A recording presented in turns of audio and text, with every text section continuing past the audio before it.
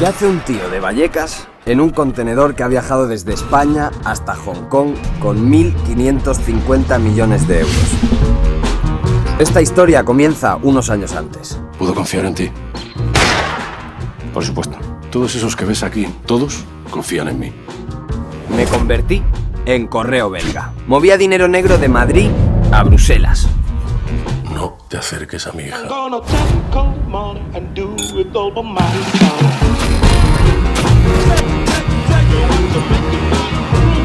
Empresarios, banqueros, políticos, constructores, a todos les unía lo mismo. La Costa del Sol es el puto paraíso. Y también sabemos que nadie entra en el paraíso sin el permiso de San Pedro. Siempre apuestas tan fuerte. Yo lo quiero todo.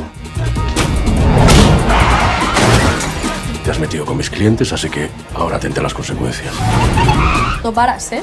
Hay que ser amigos hasta del diablo.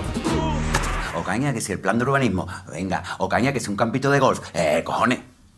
Nos va bien, nos va de puta madre y nos podéis mejor. La vida puede ser maravillosa. ¿Y este niño, Lucía? ¿Quién es este niño? Está limpio. Aunque siempre hay alguien dispuesto a jodértela. Sois correos en el tráfico de divisas, en el blanqueo de capitales.